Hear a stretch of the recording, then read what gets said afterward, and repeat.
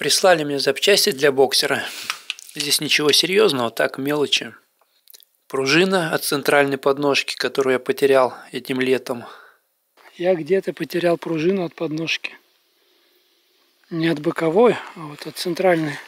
Заглушка цепи, которую я потерял давно, не помню где, когда, не видел. Видать, за траву зацепилась и слетела где-то.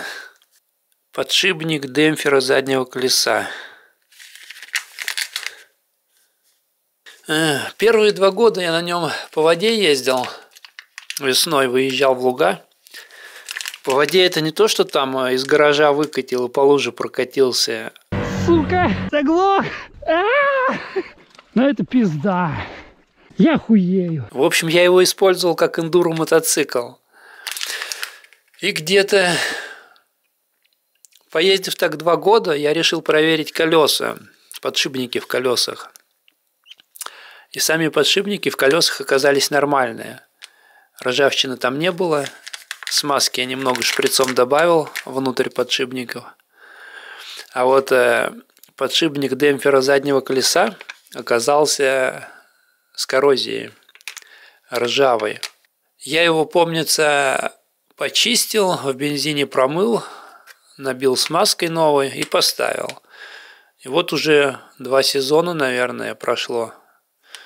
Вроде мотоцикл катается, ничего там не хрустит, не трещит. В общем, вроде бы он нормально себя ведет, даже старый. Но я заказал на всякий случай новый. Пусть будет. Если со старым что-то случится, поставлю, чтобы замена сразу была. И шланчик топливного насоса оригинальный. Мой шланчик еще на месте. Но он по центру-то он еще гибкий, мягкий, а вот по краям он уже стал дубовый. Его снять, одеть очень трудно, и в скором времени, я думаю, он потрескается и развалится. Конец сезона я докатался без пружины, просто привязал эту центральную подножку. Да, руками ты эту пружину явно не натянешь. Эх, ядрить, колотить, а как ее натянуть-то?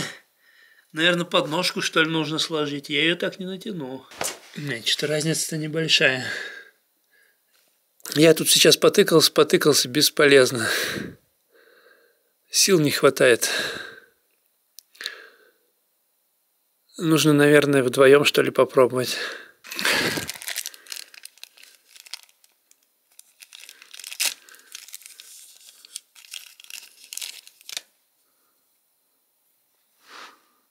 Новая заглушечка. Надолго ее хватит, нет? А то отлетит по дня в первую неделю.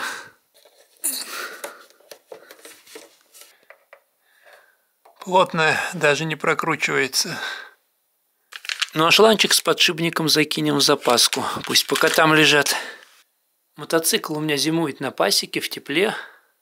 Четыре сезона я на нем откатал. В 2020 году купил его. А, Еще зимой купил, да. В конце февраля вроде как. Пробег почти 12 тысяч километров. После трех сезонов я ему поменял цепь и ведущую звездочку. Цепь практически полностью у меня вытянулась, там оставалось немножко совсем. И звездочка довольно хорошо сточилась. Предвижу, что в комментариях всякие специалисты начнут писать «Э, «А как можно было цепь за три сезона ушатать и звездочку родную, ведь она такая качественная». «Э, я вот езжу третий сезон из гаража за хлебом, и у меня все хорошо, и цепь у меня отлично выглядит. Так ты попробуй не за хлебом на нем покататься, а по воде, по песку, по лесу постоянно. Цепь – это расходный материал. Ее можно ушатать не то, что за три сезона. Ее можно ушатать за пару месяцев. Это все зависит от того, где ты и как катаешься на мотоцикле. Цепь у меня сейчас стоит новая. Ну как новая, сезон я уже откатался на ней и на звезде на этой. Я не открывал, не смотрел ничего, там смотреть нечего. Потому что еще на пару сезонов ее должно хватить. Много раз я уже на нем падал. Я уж со счета сбился, раз пять точно на нем падал. Один раз на асфальте падал, а остальные вроде как в лугах. Каждый раз падал на левую сторону. Один раз было дело, сильно погнул дугу, выпрямляли. И каждый раз доставалось вот этой подножки. Но она до сих пор живая, немножко там он дырка есть. Это, скорее всего, когда я на асфальт упал, по асфальту протерла ее. Чуть-чуть у нее загиб есть тоже, но ничего критичного. Брызговик мой самодельный держится до сих пор, как новый. Я думал, он отвалится довольно быстро, где-нибудь зацеплю за муравейник. Нет, все держится. Дисковый тормоз я как-то пытался открыть, посмотреть. Он вроде ширкает немножко. Вот эту штуку я пытался разобрать. Но там, по-моему, сильно внутрь не залезешь. Я ее разобрал, сколько смог. И ничего там не увидел такого, что можно было бы почистить. Колеса, камеры и покрышки. Вот эти болты, это я вкручивал сам – чтобы не прокручивалась покрышка на ободе. Потому что она у меня начала прокручиваться. Я его как с завода купил. Колеса были сильно накачаны. Ну, я их трогал время от времени, они дубовые. Я проездил первый год, так на второй год трогаю, они опять дубовые. Ну, я думаю, что, нормально, и катаюсь дальше. Она сама покрышка просто дубовая, ее пальцем хрен промнешь. И получилось так, что я доездился до того, что колеса сильно подспустили, видать, и вырвало соски. Первый раз это случилось на переднем колесе. Ну, оно просто у меня спустило в дороге. Я недалеко от дома был. Домой вернулся, смотрю, сосок надорванный. У меня была запасная камера, я ее вставил, накачал, и все нормально вроде. Это была уже поздняя осень, да. А заднее колесо на второй год такая проблема с задним колесом случилась. Я возвращался из леса, практически доехал до дома, и на асфальте слышу такой резкий свист. До дома его довез, разобрал, сосок вырватый. У меня была опять запасная камера, я вставил, покатался, может быть, там дня 3-4. И его опять вырвало. Тут я понял, что покрышка прокручивается. Купил новую камеру в магазине, вставил – накачал сильно прям. По-моему, три атмосферы я накачал. И она все равно через какое-то время прокрутилась и вырвала сосок. И вот после этого я... Камера здесь стоит от ижака. Нормально подходит, кстати говоря. Где там сосок-то показать?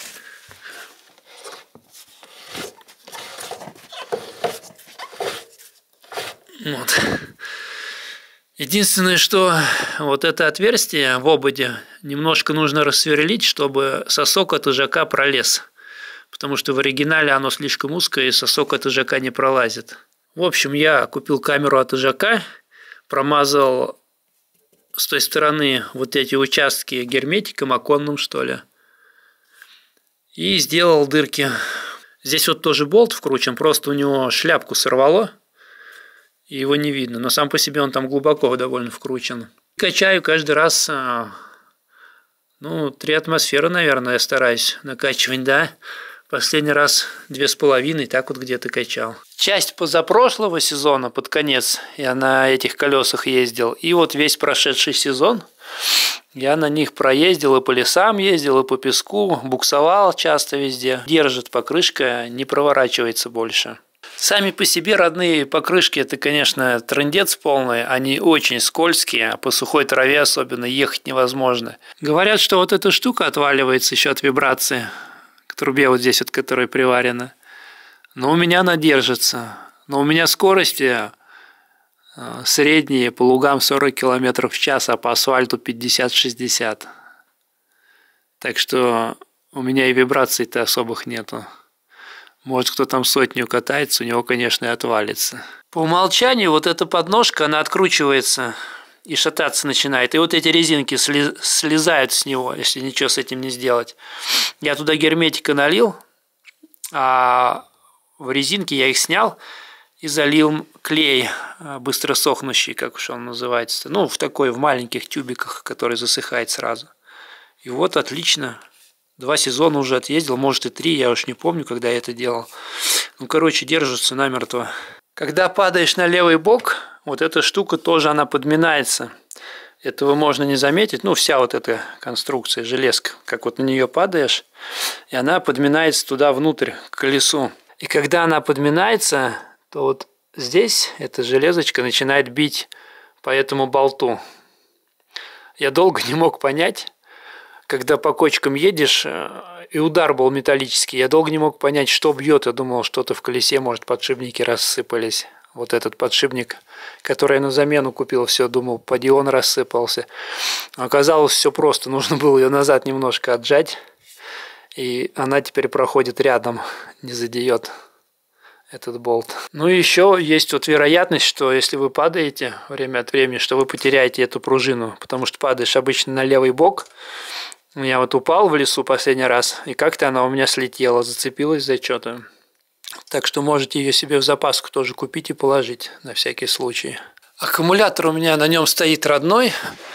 Как я его залил 4 года назад, так я с ним больше ничего и не делал. Ни разу не подзаряжал. Заводится нормально с этого, с ручки. С ножки вообще идеально заводится. А вот с карбюратором что-то есть какие-то вопросы. Может, там где-то соринки какие-то. Может, там мусор какой попал, либо еще что-то. Поначалу-то не было этого. А вот последний год, в общем, когда его берешь, ну, ночью он постоял, допустим, заводишь его, начинаешь ехать, и он начинает чихать. А, там раза, может, три-четыре, ну, по-разному каждый раз. И пока не обчихается, нету тяги нормальной. И даже если ты его оставляешь там минут на 20 всего, это повторяется. То есть, если он постоял немножко, особенно если постоял на солнце где-нибудь, какая-то воздушная пробка образуется в карбюраторе, либо, я не знаю, может, у меня вот здесь что-то засорилось. Но если он вот на солнце постоял, где-нибудь особенно испарился там бензин, то заводишь его, проезжаешь какое-то расстояние метров, может, 50, он глохнет, и все, ты ждешь, пока бензин наберется пока опять э, ток бензина восстановится. В общем, что-то надо смотреть, там делать либо с карбюратором что-то, либо вот с этим кранчиком здесь какие-то проблемы. Здесь наверху с приборами, с зеркалами, ну, с рычажками, с тросиками вроде проблем никаких не возникало. Кроме того, что топливная стрелка постоянно бред показывает. Когда ты заливаешь полный бак, она то есть полностью вниз показывает, то, что бак пустой. И это продолжается, где пока ты не истратишь примерно одну треть, потом она начинает показывать, что бак полный, ну и после этого постепенно вниз снижается. То есть после этого она показывает уже примерную правду. Кофр у меня китайские атаки так и служат, ничего с ним особо не случилось. Хотя у него отвалились отвалились у него вот эти штучки, которые как раз не дают ему так откидываться сильно. Пластиковые.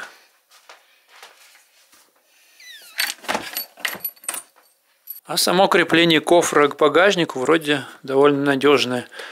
Вот уже сколько? Четыре сезона. И вожу я на нем э, тяжелый груз, мед развожу держится. С резинками все хорошо, все резинки как новые. Но он у меня зимует в доме в тепле. Зимовал бы на холоде, может, они бы и потрескались некоторые. Вот, к примеру, резиночка на тросике. На китайском ирбисе она у меня развалилась через год, полтора, что ли. Вообще вся рассыпалась. Здесь держится. Все с ней хорошо, мягкое. Одна резинка у меня все-таки потрескалась, это вот эта. Но она потрескалась э, практически сразу из-за того, что я туда литола напихал. И из-за литола она вся потрескалась. Резинки, которые вот к зеркалам ведут, я хомутиками прихватил. А то они как-то не очень держались, по-моему. Если кто не видел и не слышал, то пару раз я его топил. Один раз вода попала в двигатель. Не знаю, сколько там по объему было, но масло все белое стало, то есть там эмульсия. Мы его слили в этот же день, через час где-то после того, как она попала. Я час где-то и на нем ездил, не видел, потом заметил. Несколько раз масло поменяли. И второй раз, когда я его утопил по бак, а, вода не попала почему-то. Ну, я, видать, быстро выехал. Первый раз-то я там целый день по этой воде катался. И глубоко заезжал по баку тоже дело было.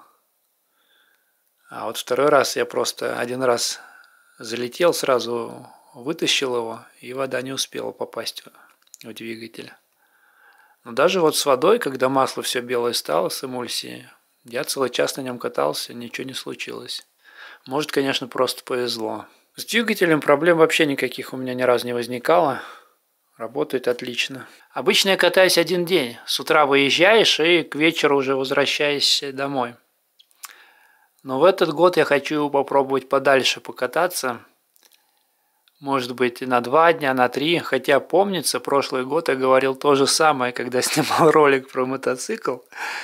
И на 2-3 дня я так ни разу и не съездил. Меня всегда напрягало сон в палатке. То, что там мерзнешь, как собака, не высыпаешься. Ну вот вчера ко мне пришел дешманский спальный мешок, который я купил а, на искусственном меху.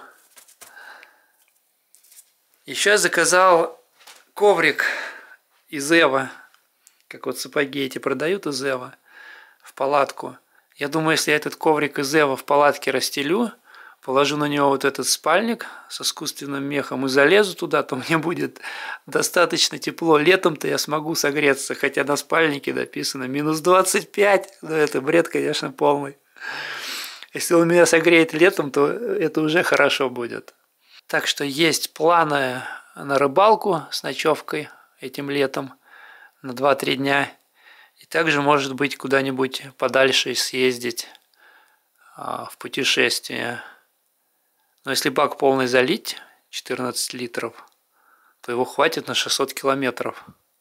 С моей скоростью 30-40 километров, как я катаюсь. Ну и по асфальту 50. То есть в одну сторону можно на 300 километров уехать. Это очень далеко для меня. Посмотрим.